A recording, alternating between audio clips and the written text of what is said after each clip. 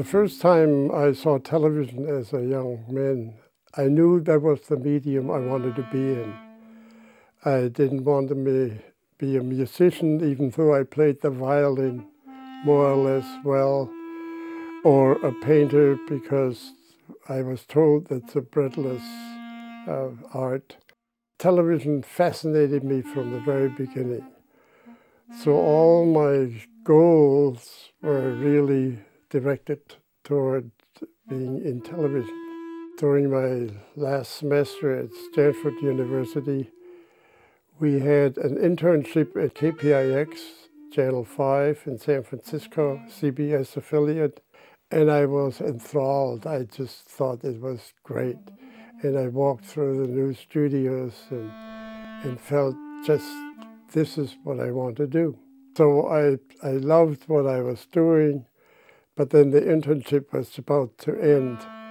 And uh, I was just sweeping, after a show, I was sweeping the floor in the brand new studio when a gentleman walked in with a tie on and he looked quite serious and he said, and who are you and what do you do, what are you doing?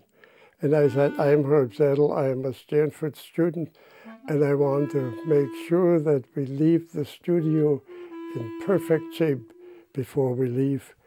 And he said, oh, he said, uh, I like what you're saying. Would you like a job? I have been painting all my life, and uh, it's, it's really a true answer because I remember as far back as when I was about four or five. I think I was five years old. My mother always gave me a watercolor set, and I was painting, painting, painting. It didn't amount to much, but I always loved to do it. I like to look at things and reproduce things somehow. I was fascinated with painting, how far back as I can remember. I'm still painting today after my retirement, and this is uh, more than a hobby now that because I take it a little bit more seriously. The media is for my paintings is still the casein and varnished.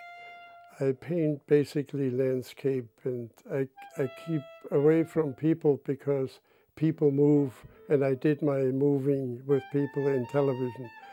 So I'm, I'm rather re, recreating the static world in, in, a, in a more pleasant environment.